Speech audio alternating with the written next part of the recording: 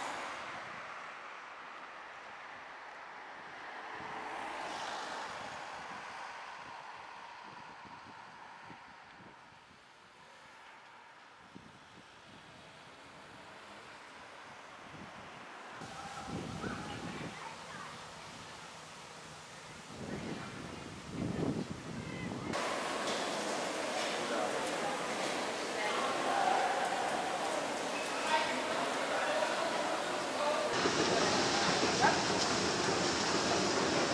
you.